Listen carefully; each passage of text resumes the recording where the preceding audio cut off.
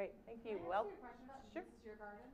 uh, this is one of our gardens that we've done for our clients. So that fencing, that seems fairly low. Does that keep That is kept, wildlife out? that has kept their wildlife out. They've used, um, small critter, um, They also have property fencing on that. uh, Okay. yeah. at- at that They have a pool, so it's within their pool fencing, and then they have for small critters, they've used the humane traps. But Um, but we also do uh, uh, companion planting for things that the, uh, even the deer and things don't like, like uh, herbs and Right. such, and that, which Christine will talk about. Exactly. So again, thank you for coming, we appreciate it, and we have a lot to, okay, why is it not advancing?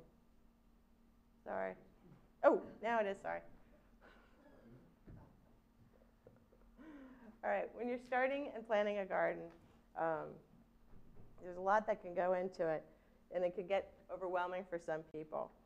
I look at it similar to way uh, baking, that there's a certain recipe that you can follow, and in doing so, you'll be able to um, enjoy a successful gardening experience. Um, some of the key recipes uh, or ingredients involve a fertile growing medium, the right sun exposure, uh, a good gardening configuration, and good seed selection. And if you plan it out properly, you'll be able to enjoy some delicious fresh vegetables uh, for your family. So let's start with the soil.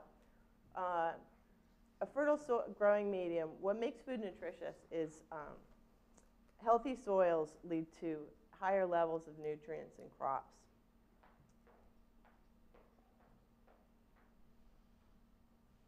Healthy soils are biologically alive and balanced in mineral and carbon content. Soil organisms play an essential role in breaking down organic matter and other complex molecules. These activities are also linked to processes that lead to the aggregation of soil particles into a friable soil um, structure that's beneficial for growth plants. So what that means is the soil is, it, there's air, there's, if you think about earthworms kind of tunneling through, all those tunnels and stuff um, create air pockets and stuff. So that's all good. You want a soil, if you've ever picked up um, a very wet soil mixture and made a, a you know fist with it and then just dropped it and then it's like a clump on the ground. That's a very dense wet mixture. I have up here, which afterwards, if we have time, you can take a look at the, um, the consistency of the soil and you'll see that it's light and it's airy. Um, there's things that we put into it that help you know, contribute to making it less dense. A good compost can be somewhat dense, so there's things that we add to it to um, break that up, which help store um, water and uh, other nutrients. What do you add? What, what is that that you add to it? We add vermiculite, which is one of the, we add a coarse vermiculite that holds the uh, nutrients in water. Uh, um, and we add uh, uh, the, um, the earth cast, uh, earthworm castings. That adds more um, nutrients to it. And we'll also add um, sphagnum peat or coir. So that, that all helps with um, keeping the moisture in and also the nutrients in.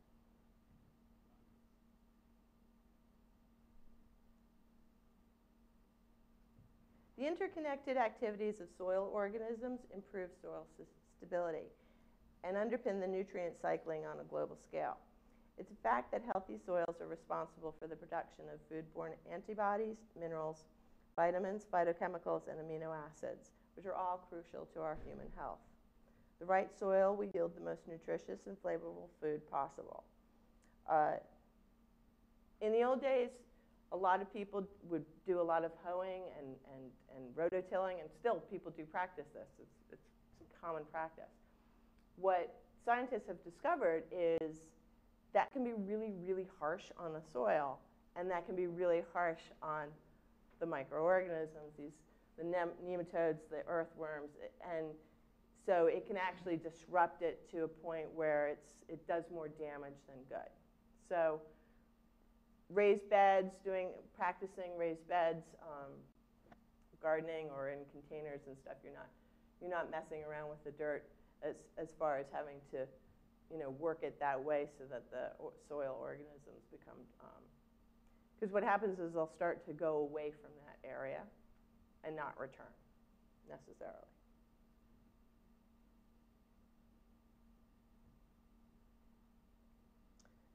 Decomposition of organic matter is the organic content in soil. And decomposing organic material increases the carbon content that's in your soil. So as I was saying before, in our raised beds, we'll take this as, um, we'll use about a half of, of it be compost, we'll add a quarter of it the sphagnum peat, another quarter vermiculite, and then the worm castings. If I'm doing a container, um, the only thing that changes is that I will use coir as opposed to the sphagnum meat, uh, peat. The reason being is the coir, which is coconut fiber, does not, um, if it dries out, it will, when you re-wet it, it will get wet. Sphagnum peat, if it dries out, doesn't. We use that in the raised beds because very rarely will a raised bed become dried out completely because it is part, it is part of the soil, becomes part of the earth. Is, is sphagnum peat moss different than regular peat moss? No. It's just the official long word. Okay. Yes? Oop, Uh, okay. The next important thing is obviously you need to have the right location for your garden. A lot of people don't realize the importance for um, the amount of sunlight when growing vegetables. And knowing and understanding how much sunlight will aid in your success. So food can be picky. So for your fruiting vegetables like your tomatoes and your eggplants, cucumber, squash, vine crops like that, they need a good eight hours. If you find that your vegetables are kind of um, thin, or they're um, what's the word I'm looking for, Mark? The, the when the roots are, not the roots, the the vines are uh, kind of spindly. Spindle. Yeah, that probably means that it's not getting enough sun. If you're getting the good eight hours, you're going to find that your roots are going to be nice and thick, and your your crops, your tomatoes will come out. Yep. Sorry, I didn't know we were going off soil. Sure. Um, When you start turning over your bed after the winter, on my bed, there's a- some moss. Should I be adding lime to it? Not necessarily. Um, you know, I would never add anything to any bed without doing a soil test to see exactly what you need. Because it's not, you know, something like that may not be indicative that that's what you need. So to be on the safe side, do a soil test. There's soil kits that you can buy and literally just, it's, it's very, very simple. Um, the other thing is, for the most part, in our beds, the only thing on a yearly basis that we replenish is the compost. The peat and the, the vermiculite, those don't need to be replenished for a good five plus more years. So those, it's, it's the compost, because after each season, the, vet, the fruits and vegetables are getting the nutrients from the compost.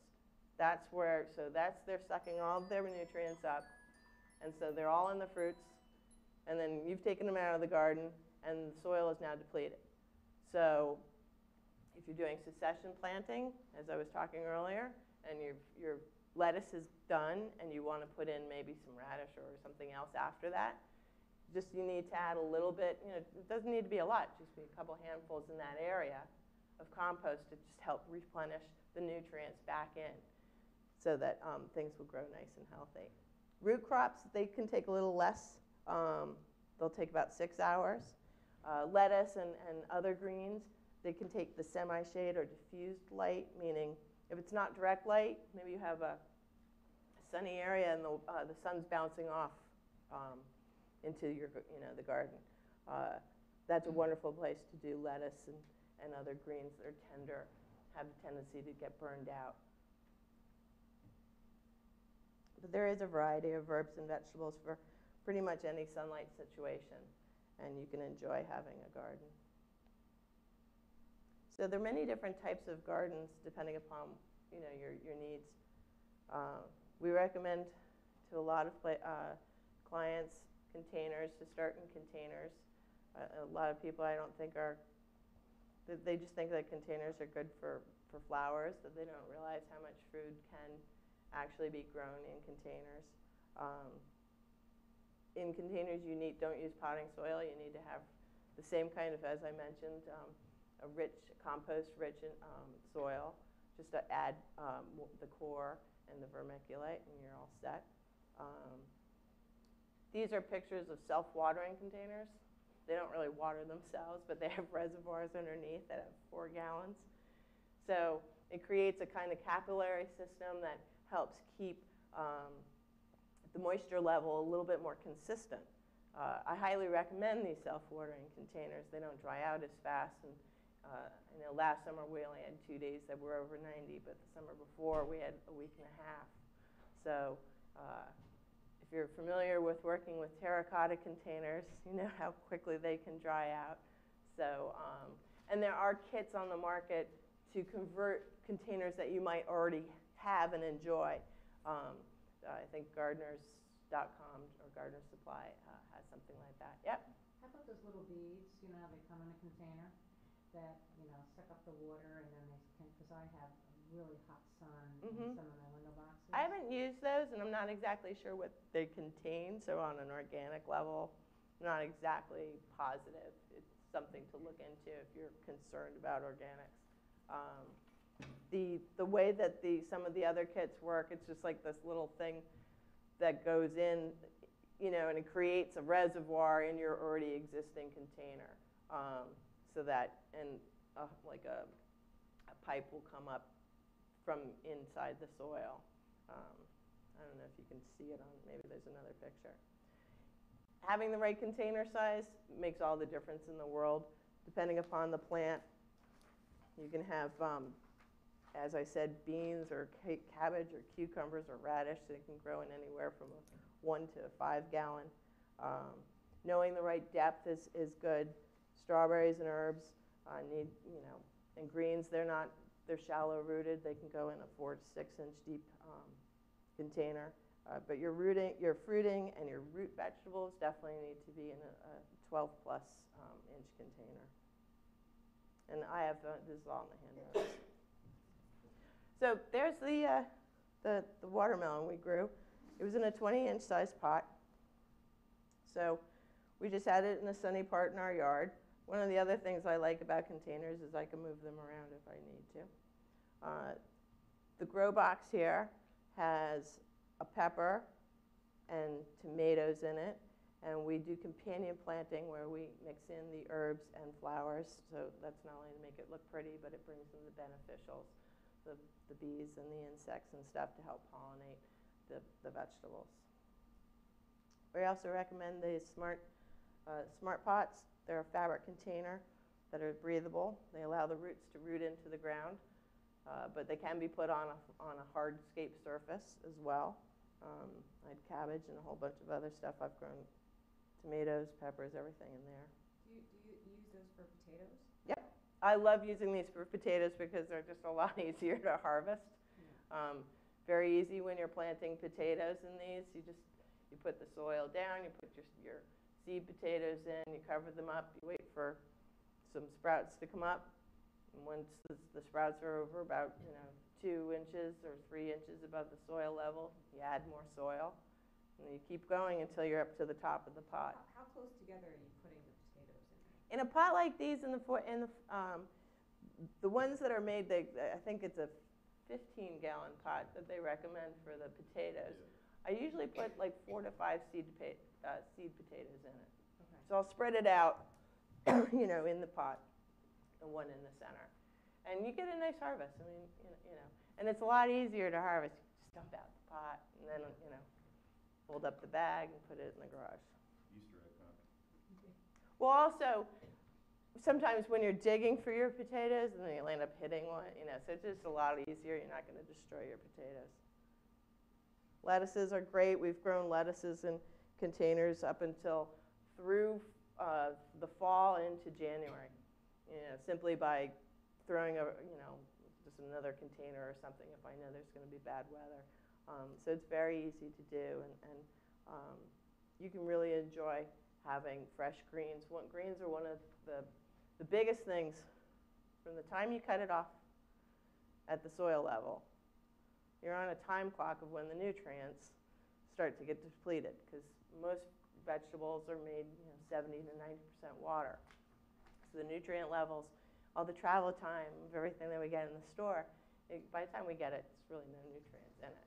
So greens are really, I highly, I, I'm always recommending my clients to, because this is where you can really get some huge nutrient bang for your buck. What size pot would that be? That's a 20 inch round. And I have tendencies, sometimes I overcrowd. I mean, probably if you look at the thing, I probably should have had maybe two less uh, lettuces in there. They did find also, as if you can see, now that I know I'm on camera, that's a uh, tomato plant in there, which eventually, over time, took over the plant. And The volunteer. the vo- no, that was not a volunteer. A volunteer? No, that was specifically placed The there. great thing about those pots too is that we've been sitting on our porch and watching rabbits eat weeds around, Yeah. just not even knowing what's just mere inches above their There- heads. There's, this is, this is the size pot, so that's a 20-inch round pot. Um, In it has a tomato plant, this is um, um, a grafted uh, tomato plant, which went wild, and I needed to tie it up to the house. You So- probably keeping the squirrels over there? I never have a problem with squirrels. What about yeah, the chipmunks? I've not had a problem with chipmunks. We have chipmunks too. And we do have chipmunks. Um, between the companion plantings, uh, the, you know, I'm- in a fenced area, but chipmunks and squirrels and skunks, I also have five dogs, but they've gotten skunked, like at the bottom of that staircase there. So the critters get in. I've, I've been in my garden thinking it was one of my dogs moving my sunflower, and it was a, it was a, uh, what was it? A groundhog. I crept up behind it thinking it was a dog, it was a groundhog. and uh, so I put containers of mint around the backside of the sunflower garden. That's where he had gotten into. And I never saw him again. So there's certain organic ways that we can work and um, try to uh, get around Mother Nature and her, her critters. A raised bed will allow you to easily control the soil.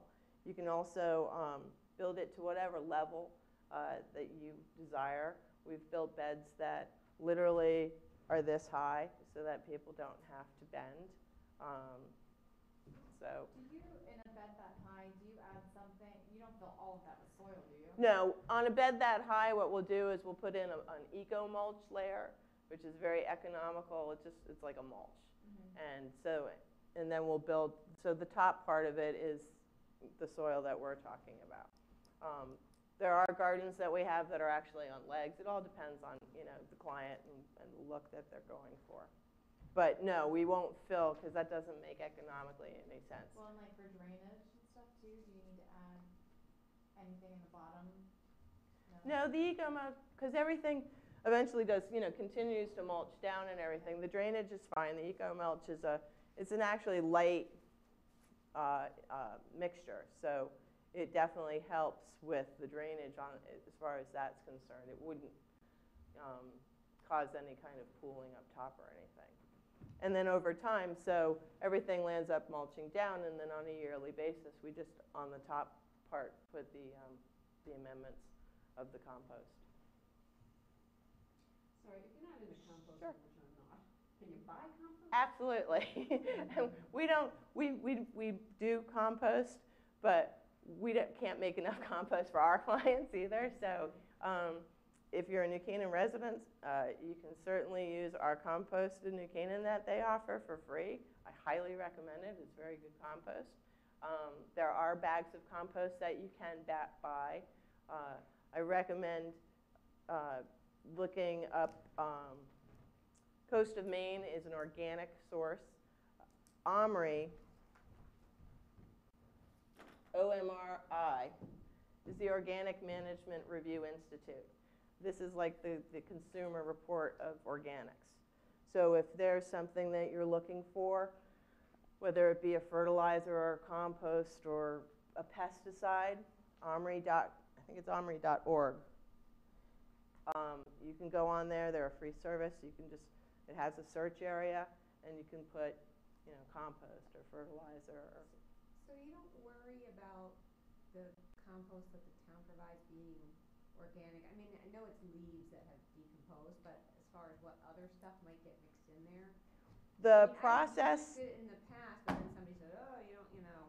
The process that, that, um, the, uh, that the town of New Canaan goes through to compost of what we do is very involved. They've spent a lot of money on it, and it's, it's very good stuff. Um, It's been sitting out for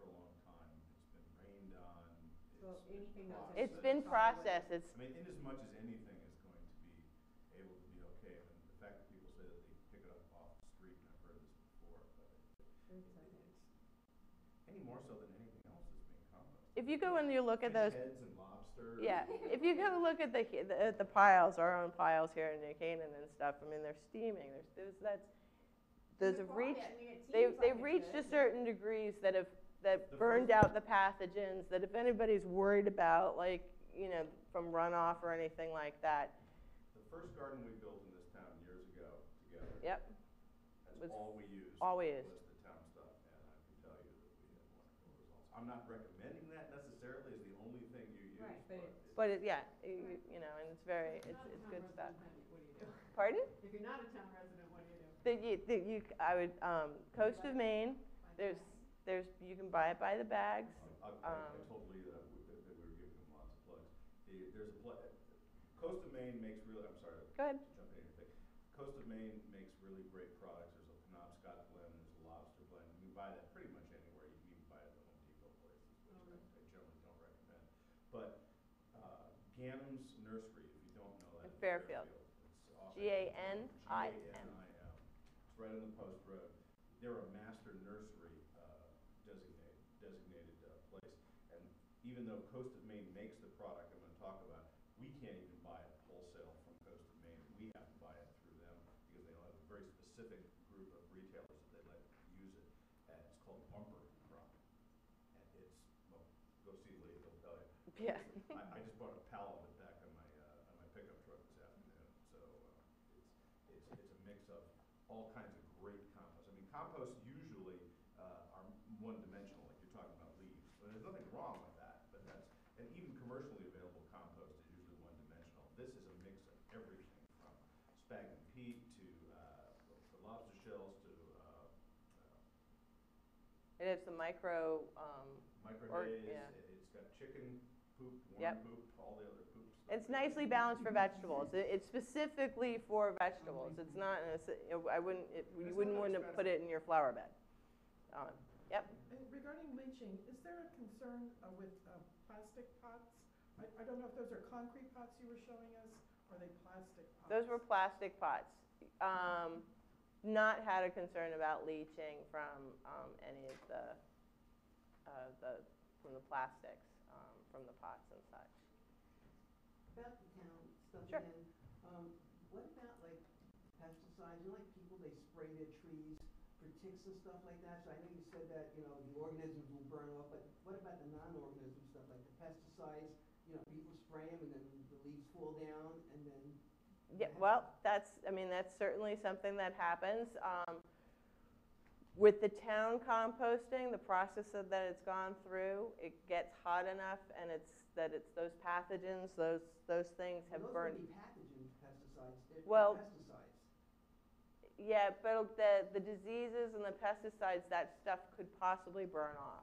If, you- I, I've, we've been using it, have not had a problem, um, Not a problem with it, if you don't know you have a problem.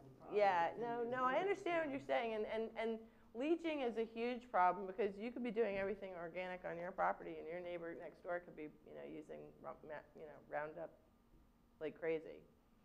And because of what's going on on, on the soil underneath, that's why also we recommend raised beds, so that you're not, you know, you're raising things up above that, and you're not dealing with as much as what's leaching. Um, I can't really, you know, for sure say that, you know, that that isn't a part of the compost. You know that they test for anywhere. that? I mean, does the town Do they test for that? pesticides in their compost? No, you know, I don't, I'm not sure. I, I have a uh, letter going out to them to find out if they can put out more information for local gardeners like us about the um, specifics about the compost. Um, so I, that's on my, my list of things that I'm trying to work with, with the towns to see if, you know, we can get some more information, so, you know, some more, you know, with visibility. Yep, A few slides back, uh, the screen said, never use potting soil for a vegetable garden. And frankly, I don't even know what the composition of potting soil is. But assuming that we were to treat it with all usual additives like vermiculite, um, worms, whatever. what most potting soil already has like some kind of vermiculite or perlite, you'll hear that word a lot, and that's the other white little substance that you see. The difference between vermiculite and perlite is perlite will hold water but not the nutrients. Uh, potting soil is really basically set for flowers, and so it doesn't have the nutrient content. If you wanted to take pot, I, I would say in pot, not potting soil alone. If you want to use potting soil, then make sure you're adding compost to it. Because potting soil alone doesn't have the nutrients necessary for growing um, nutrient-rich food. Can you use topsoil though and mix all of this in? Not alone. Yes, you can use topsoil with it. All of them. Topsoil is really, really dense. Right. So if you use, you know, you want to mix. What's like the, the mix? Like, Pardon? What, what would like the percentage mix be between like topsoil and then all these? Um, it really depends. I mean, I, you know, on a topsoil, More than half, yeah, What- more than half. no more than. No more than half. But again, it depends on how, It depends on how big your, gar- I mean, Well, for like a four by four raised bed. for, uh, for a four by four raised bed, then I would put like, you know, half potting, I would ha- have half, um, compost, and then I would mix in, um, the ratios of the, of the topsoil with, um, the ver- well, topsoil's a vermiculite. moving target to talk about. I mean, I don't know what that means. I mean, everyone uses that term, topsoil, but what does that actually mean? I don't know, it's Yeah, I whatever, know, whatever I I'm gonna order in bulk. Exactly. So, I mean, we get something from a, a place up in Fairfield uh, called Green Cycle, which is, ca- uh, which is called Topsoil Plus, which is topsoil mixed with the eco mulch that she was talking about. And so we know what the content of that is, we know how friable it is, and friable means how loose it is. But that, you know, topsoil Yeah, if you're going out to the back of your property and just pulling up some topsoil, that, Somebody could deliver it in a dump, dump truck, and it could be just a big clump of, right. you Um, the place that step away from mud. that uh, Mark mentioned is now called, I believe, New England Harvest, Yeah, it's called and they're, Harvest. they're in Fairfield. Yeah, they're down in the water and harvest, they're great, uh, down in the water and Fairfield, they're a great place. Um, when setting up your raised beds, we always recommend to keep the beds narrow. Um, we don't recommend anything uh, wider than four feet. You want to be able to always reach into your garden, not walk into it. You, um, by walking into a garden, you compress the soil, and uh, that destroys the roots and, and the microorganisms that we were discussing earlier. If you can't get to all four sides of your garden, I recommend then nothing wider than three feet, or what you're comfortable reaching into. And we always recommend to start small. A four by four, an amazing amount of food can be grown in a four by four. If you start small and you find that you're successful and you want to add on, then more containers or another addition uh, in the um, subsequent se- uh, seasons, then it's certainly easy to do. If you're growing or want to grow uh, zucchini, I always recommend, then we pop to a four by eight. Unless you're willing to put it in the corner of a four by four and have it trail out. If it's gonna trail out into your lawn where you're gonna mow, um, then that wouldn't work. Zucchinis can get really big and take over, and they're beautiful and wonderful, but they do need um, some room. Watering's very important. We always recommend um, a drip irrigation type system as opposed to uh, the, the sprayers that go like this. When you spray, you have the tendency to um, you get the leaves sweat, which can build up uh, disease, and um, also if you're watering during a certain time of day, it can cause foliage burn. So if you're going to water by hand, we always recommend watering low right at the roots and the base, just so that avoids that. Um, we water early in the morning before the sun comes, you know, before the sun gets too hot. Uh, so, you know, before 9:30 in the morning at least, or late in the evening. Uh, morning, at least, you know, during the day, the vegetables and the plants can dry out. And Could, could I ask one other question Sure. about watering? How do you know, what's the rule of thumb, thumb for how much water and when? Um, when first establishing um, the garden, when you're first putting in your seeds and your starts and stuff, you need to be a little bit more diligent about the water. You want to make sure that the, the that you're watering long enough so that um, the bed's getting a good two or three inches of you know of dampness. You don't want it to get too wet, but you want it to you know to get fully damp. That's why the soaker hoses are great because they're right there at the bases. Things will get really damp. Lower things go, the roots are going to go and pull into that. I usually pull back on the watering as things, you know, start getting going. Um, so in the beginning, I usually water I'll twi- twice a day. I'll be out there in the morning and in the evening as things are getting established. And then usually about a month into it, I'll start to pull back. And it also then depends on Mother Nature, you know, and how much she's helping. Um, my sister, who knows nothing about gardening, called me once, and it'd been raining for like a week, and she was like, "What do I do?" And I'm like, "Go outside and stand there with an umbrella." She's like, "What?" She's 10 years younger than me, so I can have some fun with her sometimes. But I was like, "It's okay. Mother Nature sometimes does this, and we'll be okay." You know, um, it'd be interesting to see what kind of season we get, considering the winter we got. So now we've talked about location and garden setup. Now let's get into proper planning of the actual garden.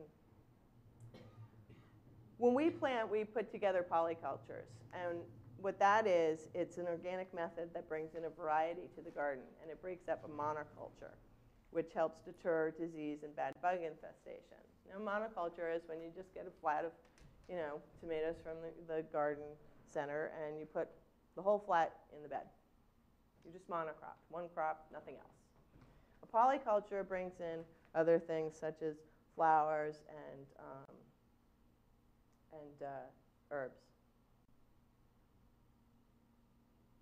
Polycultures help eliminate the need for chemical fertilizers and pesticides. Companion plantings enhance the beauty and health of your garden and help work in harmony with nature.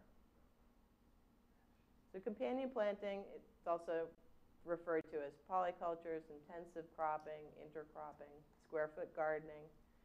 But all it does is it breaks up the monoculture and it deters the disease and bad bug infestation.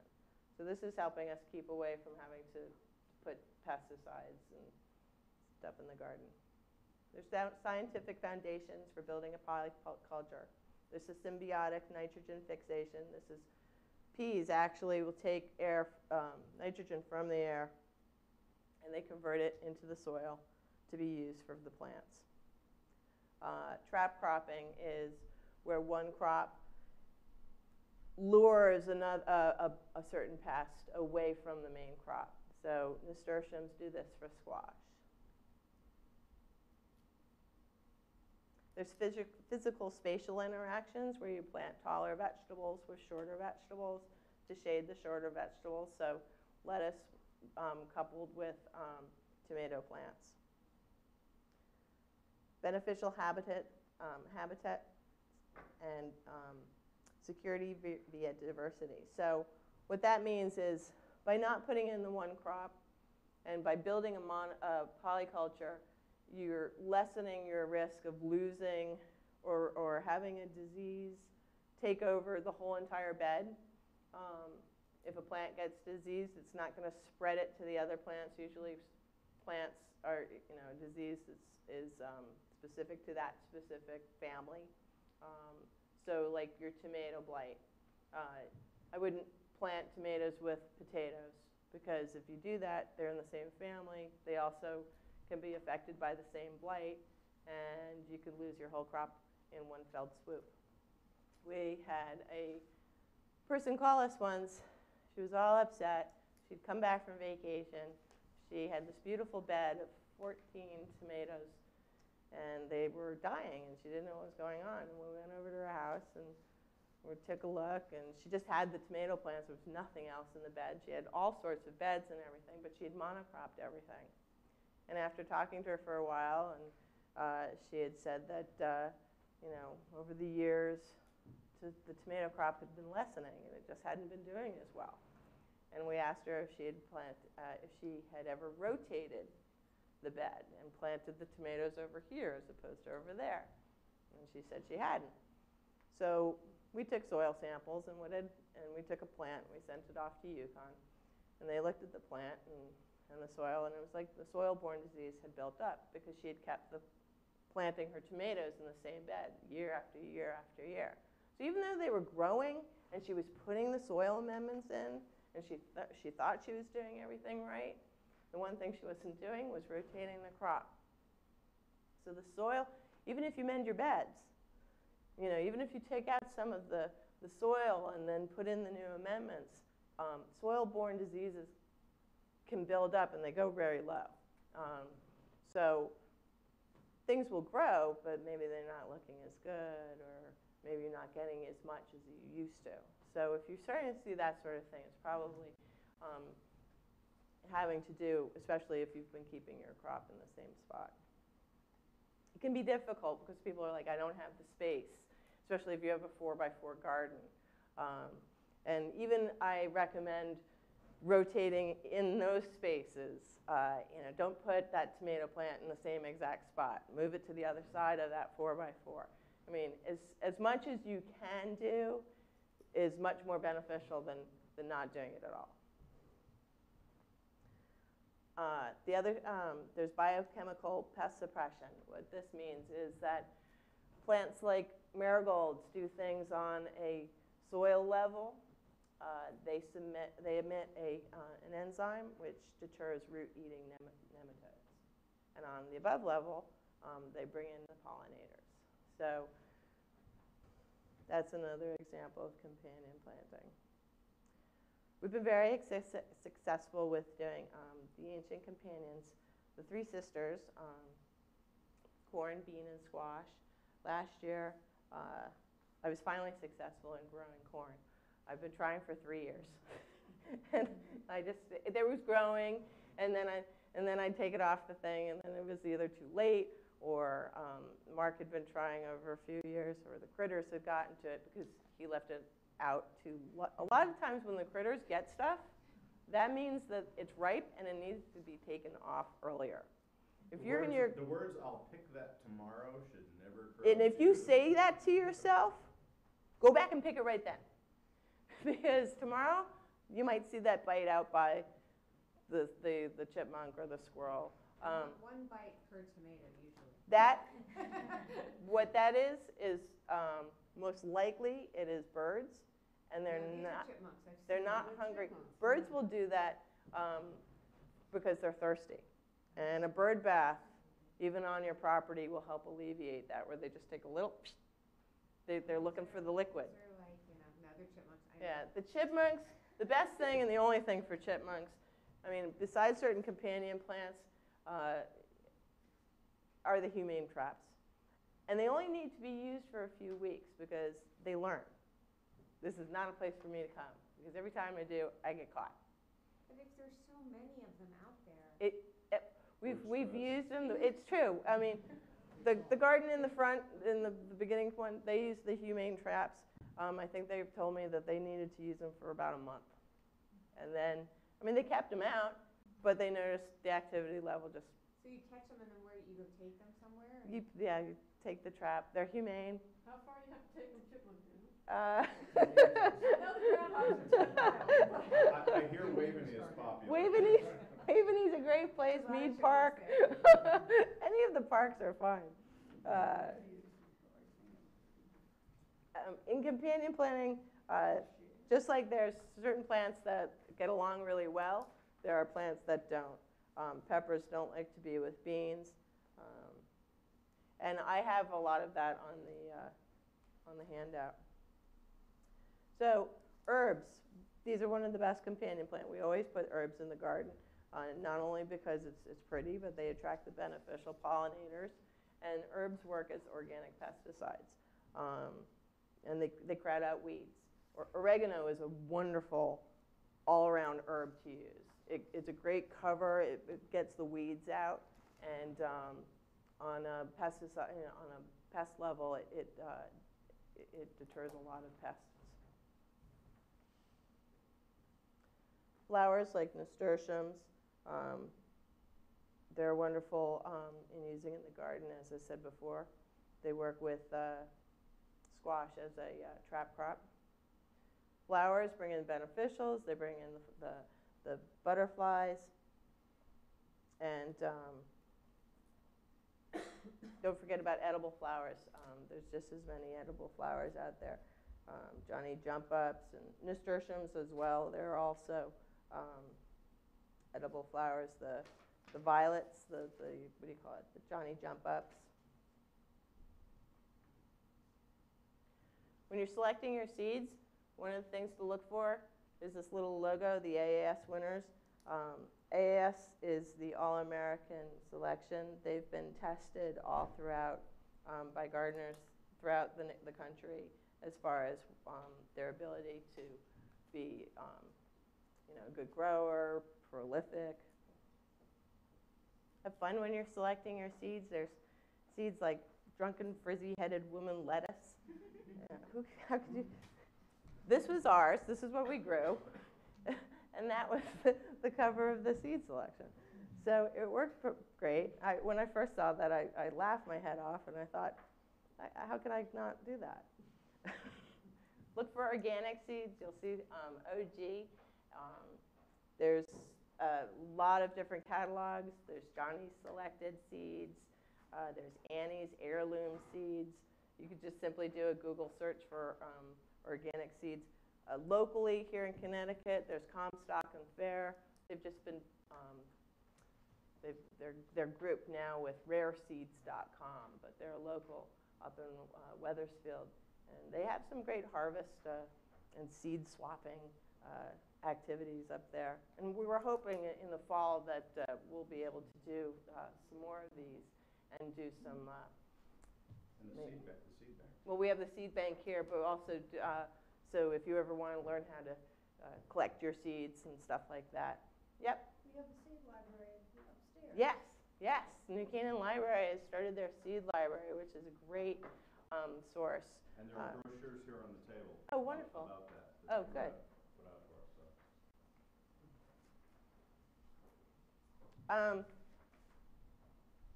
see, also when you come across seeds, you may, you may find F1s. And these are hybrid seeds. And I know a lot of people might get confused about, because we, we hear about GMO seeds all, all the time, and everybody's, you know, we don't want GMO. Hybrid seeds are different than GMO. This is, this is back, gardening, um, gardeners for many, many years have combined um, through many natural ways, um, brought together and built plants that have become stronger and disease, more disease um, uh, you know, resistant through um, doing it, breeding plants, you know, the old-fashioned way. Um, so you'll see these they might be, uh, you might see it's labeled as hybrid or an F1. And that's simply what that means. And it's, it's organic. I mean, it's not organic, but it's, it's fine.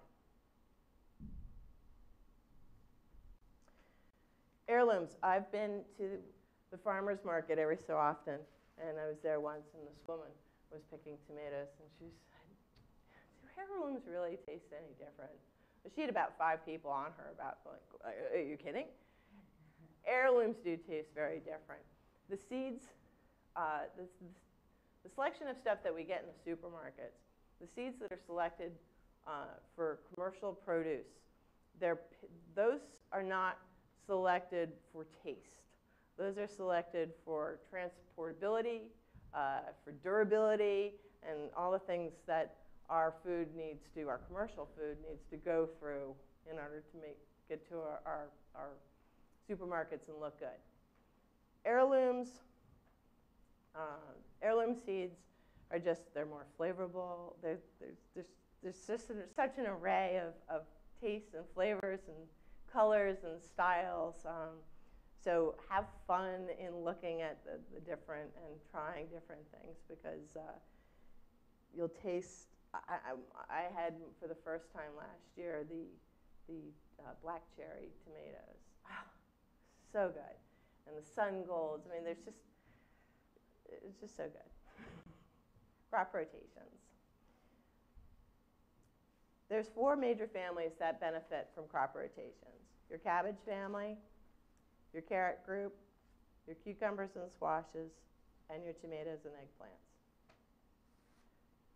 These are the groups that really, when I'm planning a garden, that I plan out and consistently think that I need to, to turn around. So this is a diagram of one of my clients' gardens. She's got a, an eight by eight garden. And so year one, this is how we planted her garden. And the legumes, as you see, I rotate the legumes. Legumes are helping add the nitrogen back into the soil, the peas and the beans and stuff, and they like to do that. So I rotate those just so that each part of the garden is going to get a little bit more of that as well. Is there any questions about crop rotations? When setting up a garden, as I said, like it can be hard if you're in your own four by four, but even setting up smaller beds, a lot of people, you know, will have these big beds. It's even better to have just a bunch of smaller beds so you can work your crop rotation. So here's one of our clients' gardens. She's got four beds, three of the four by fours, and then she's got one four by eight. And that makes it easy for us to plant her garden. Before going out to the garden, I map my garden. I have my seeds, I know my families, so this way everything's all planned out. So I literally go out with the map and my garden, and I put my seed selections down, and then I plant from there. And that way, I have a record of it, so um, I can go back to that and uh, look at it in you know future. Um, sometimes my markers get uh, you know sun dried, and I can't read what was there, and I have a map at least. I can go, okay, what did I what did I plant there? So mapping out is is just it's an easier way for you to go about things. Uh, know if you're going to use the big box stores that um, uh, the plant starts that are there have been chemically treated so that they because they're going to be there for a long time and um, so most of those have been chemically treated we always recommend either just going straight to seed or using a local source the farmers market is a great place to pick up some um, plant starts or your local nursery Oops. also when you're planning, when you've got it all mapped out and you know okay, I'm going to need a trellis for the cucumbers or I'm going to need something for the beans. So that way you have everything in place. I don't put things, actually, when I plant my tomatoes, we'll put the um, supports in with the, with the starts. So, so that I'm not going to break in, wait for it to get, you know, to a point where it needs the support, and then put it in, and possibly just, you know, destroy any roots. So it might look a little funny first that you've got these supports um, up and there's nothing there, but it makes it a lot easier as that, especially if it's some of the vining tomatoes, as it's going up, that you're dealing with supporting it already um, with the support there. And beans will take over. Uh, this is one of my supports I made in my welding class and we couldn't see it by the end of the season. Um, what is on the, um, in the last slide, what's on the right? Is that a support for tomatoes? This? No, on the last slide. Oh. Sorry. On the far right. On the far right. Oh, No, oops. That one. Is that for tomato, the? What? No, she's talking about your, your, Oh, my thing? yes. That's a bean trellis. This? Okay. I'm Is sorry. those- Are those little hooks? No, this is actually, I made this. I take a welding class. Um, and uh, it was just a, an obelisk I made. And then I put it where the beans were. I figured uh, I knew they would vine up there. Oh, so you're just using. So, those. yeah, and then the beans went first, and then the marigolds um, not the marigolds, the morning glories Ah. took over. That's the sa- that's the same thing on the Yeah. right that you saw on the last slide, that's just what it looked like after it. Oh, And I started welding because I got frustrated with some of uh, the supports out there, and I was like, I needed to make my own. Other ways to approach when you're planting a garden, if you're not sure where to start, uh, think of it in terms of a themed garden, whether it be a salad garden, a salsa garden, or an Asian garden, your Italian tomato garden, or just a simple perennial herb garden. Some people like to keep the herbs separate. Some people just want to grow herbs. Um, I highly recommend if you are growing uh, vegetables to include the herbs amongst them as well. The proper planning. Uh, this is kind of a guideline. Obviously, this year we had a little bit of a delay. Uh, I'm usually able to put peas into the ground sometime around St. Patrick's Day. We had a lot of snow this year, and the thing, everything was frozen. I just got my peas into the ground this weekend, so we're a little little delayed. But the general rule of thumb, potatoes can go into the ground when you see the dandelions in bloom. You want to make sure for the warm weather crops like beans and eggplants and tomatoes and peppers that we are well past a, a frost. And so that you, is usually, you know, um, way after Mother's Day, about a week after Mother's Day. Depends, sometimes Mother's Day ends up being early, so. And things like garlic is like every other bulb, it's a fall planting crop.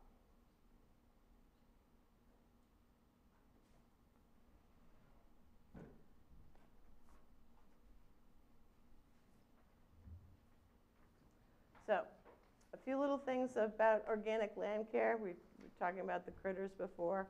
Um, mint is great to deter a lot of um, critters. Uh, if you're having problems with moles and voles and things that crawl up from underneath, uh, we, when we put our gardens in, we use um, um, it's called hardware cloth. It's it's far from cloth. It's it's wire.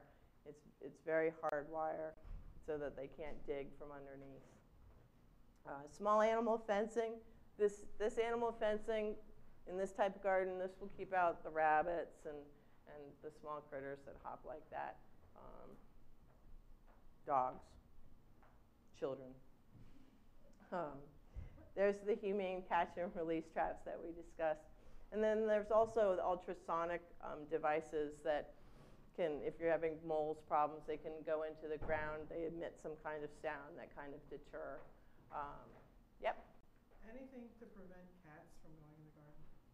cats. Um, bes- uh, you know, the Especially- fencing. the fencing, Especially in the beginning when the, the seeds are planted, but Right. it's growing. right. It, have, you, have you used fencing? Uh, No. We use Because fence, we have a cat. but our dogs too, we have the fence to keep them out from the fence Yeah, I, I mean, uh, we have, we have five dogs and one cat, and we've been using the fencing. Um, when I don't fence the garden, I always have a dog rolling around in the compost. Or the Um, Portable kennel fence, talk about that. Excuse me? Talk about the portable kennel fence. Yeah, one of the, one of the nice things that uh, you can look for, um, there's, there's a, it's, it's, um, it's a, it's a dog fence. It's literally, it's very inexpensive. It's twenty-five or thirty dollars, you know, on Amazon. It's dog fencing. It's the like two feet tall. They, they have the three feet tall, so it all depends on what you're trying to keep out. Um, I find that putting those around some of the gardens just as easy um, as some of the other stuff that can be used. So, The corner fences for those beds, did it have a piece that you hook a, a fence, like a Yes. Yes. And then you can take the fencing down so you can get into it. Some of the other um, things that you can use to keep critters away, sometimes during certain times, um, you know, the birds, you can put row covers. Uh, you don't have to keep that stuff on all season long. Let, simple, similar to the way I said, like the humane traps, they only need to be there for, you know, a month's time. Sometimes they just need to be there for a couple of weeks.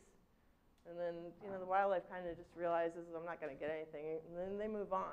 How did you not get stuck in the netting that I put over the strawberries? That was Oh, that was special. And it was like caught, it had like ran around and got caught with it on its top, and then I was like, oh, I've been trying to get rid of this thing, but now I don't want it to just die there, so.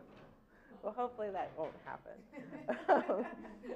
Birds, they have like reflector tape. Um, I simply went to the toy store and got like the pinwheels, and for you know $1.99, I still have three of my four pin pinwheels in the garden still flapping around. So they survived this winter. They've been out there all winter long, and then they have the, the owls. So don't let the critters keep you from having a vegetable garden. I've heard a lot of people say, I can't have a garden. Um, deer. We all have deer. Burlap sacks of human hair and dog fur are extremely effective. Um, we have these little sacks that we fill up with, uh, you know, human hair and dog. You know, as I said, I got five dogs, and I've put them around the garden, just tied them up literally to the side. I've stuck them in the containers that um, got attacked, and the deer leave them alone. They're scent, they, they smell the scent and they go away. So um, gravel paths are also a deterrent. Um, we'll do a lot of gravel paths, and we'll put some of the larger river stone down. They don't like the shifting of it underneath their hoofs.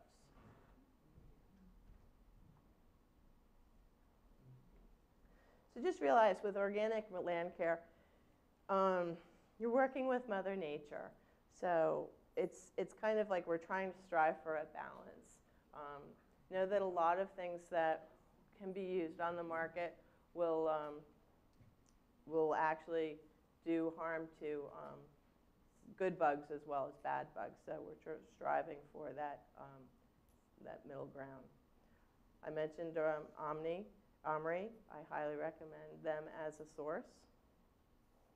So, in closing, I just want everybody to enjoy an, an enjoyable gardening year.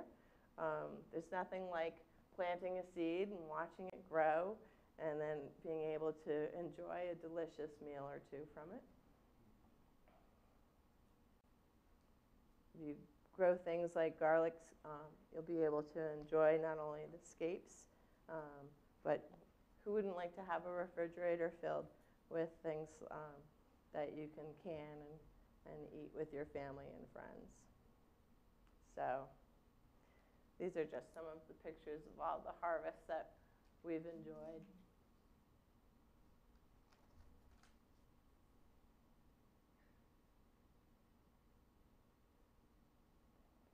Does anybody have any questions regarding anything that I might have talked about tonight? Yep. Um, just on, on the, the soil for drainage, um, for the vermiculite, do you ever use sand in the soil instead of vermiculite, you know, again, to potentially not have a problem with contamination from, the you know, how they mine the vermiculite to, um, put in the soil contamination and and then You're gonna sand? find, you're gonna find there's sand in the soil to start off with. I mean, even when we buy, the, the, the stuff that we buy from the place in, in Fairfield, when I clean my pickup truck out, Mhm. in the back I've got a liner, and when- when I'm ho- using the, the power washer, the last thing that comes out is sand.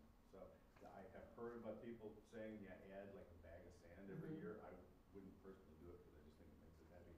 And the mining vermiculite, they heat, they have to heat that for like twenty thousand degrees or something, and then it pops like popcorn. So I, I have no concerns about anything being involved in that. NOFA, which is the Northeast Organic Farming Association, still, it, vermiculite, is, they use vermiculite, it's organic, they don't, they don't have any worries about, um, you know, what you had mentioned.